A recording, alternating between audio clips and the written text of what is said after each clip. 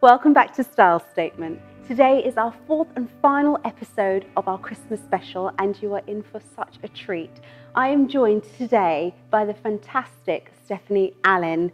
Thank you so much for coming onto the Oh, show. It's a pleasure. I feel very privileged to be Oh, here. Oh, it's lovely Thank to you. have you. You've been in the industry for over 25 years. I have. I've been. Um, yes, I've been. I, I, my first collection was in 1991, so it's more than 25 years, ago. fact. It's a bit Actually, frightening, yeah, isn't? Slightly, isn't it? Know.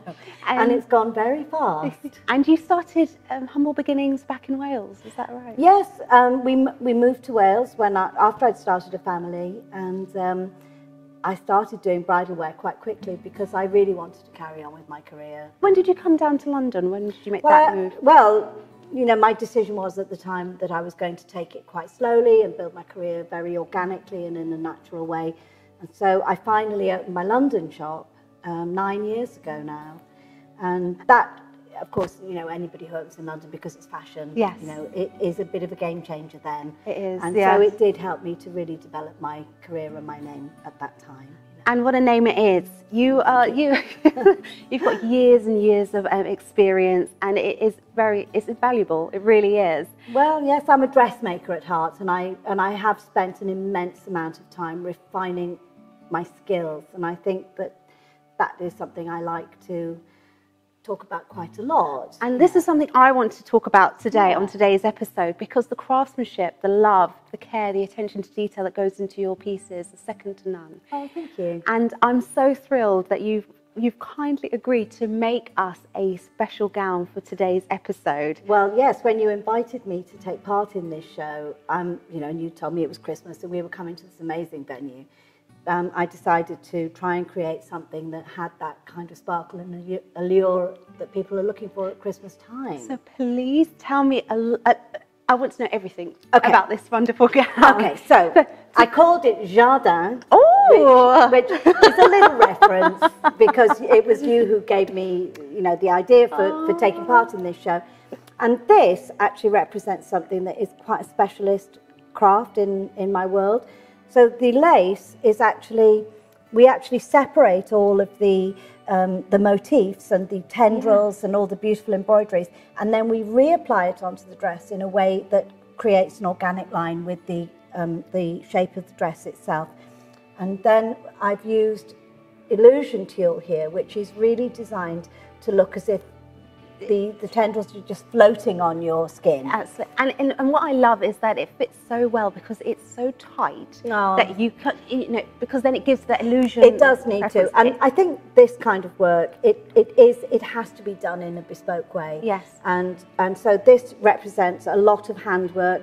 When I worked on this a lot myself, and I, you know, I did quite a lot of hours of. can you tell how many hours would you say? Well, I said earlier, I think it might even be as many as 40 hours. You know, I can still get huge buzz out of making new dresses, and And this just was just a really fun project for me. Oh, I'm so glad you said that, and I'm so glad that after all these years, you still have that, you know, the enthusiasm Oh, for dressmaking, and it, it does shine through in what you create, and also through your persona as well. Oh, that's very kind of you to say that. Um, well, I do enjoy what I do. Yeah. And, you know, I, I genuinely, I'm very proud of the fact that we make everything in-house. I employ my own dressmakers. The inspiration for this gown. So, where, where, where Well, you- basically, the, you gave me the inspiration when you talked about the fact that it was Christmas. You wanted something that really represented something about the festive elements of the Christmas I season. did.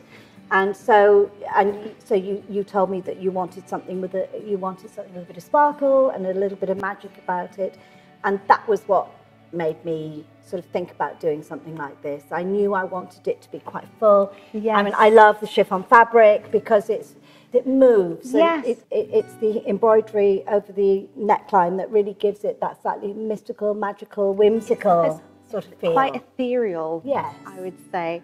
And if a bride was to ask, or would you suggest a way of enhancing the dress? What would it be? Well, what we created to go with this dress was to do these little um, these little gloves, Wow. and you know, I just felt that something like this to bring in a bit of decoration without making the bride wear a lot of jewellery. Yeah. And so these just go on, and it just hooks around your finger. It still leaves your ring finger available to put a wedding ring on, of course. the all important the finger. all important finger. But it just gives the effect of a, a sleeve dress without actually having, Having to have sleeves. sleeves. With a dress like this, I think you don't want to make anything too um, too big or too full or Mm. overwhelming. And so the, the veil I picked out to go with this dress is a silky tulle, and this just has little tiny, dainty um, sparkle crystals in, in it the to light, give a yeah. little bit of sparkle. My philosophy about being a bride, I suppose after all the years I've been doing it, is to be your best version of yourself.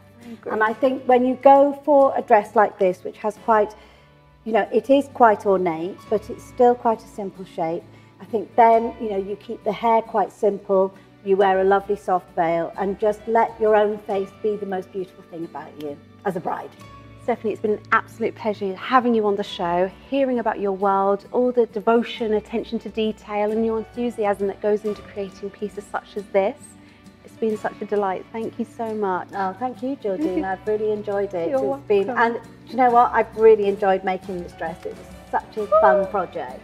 And this dress, would it be available to buy from your, your boutique? Well, it'll be available in my own boutique in London. Um, it'll also be available. Um, I, I do have another stockist that it will be available through, and that's Blackburn Bridal. Um, any ladies who'd like to try on this, you know, one of a kind gown, it's going to be available from next week. fantastic. We do like Blackburn Bridal. We do, yes. And Ellie, thank you so much for joining us again and wearing this so superbly. Mm-hmm. Fantastic. Yes, thanks, Ellie. You're gorgeous. Thank you so much for tuning in to another episode of Style Statement. We do hope you've been enjoying all of the episodes we've produced so far. We are now signing off for Christmas, but we'll be back in the new year with some more style inspiration. So if you have any comments, questions, or feedback, please feel free to get in touch with us using the email address located along the bottom of the screen. Look forward to seeing you in the new year.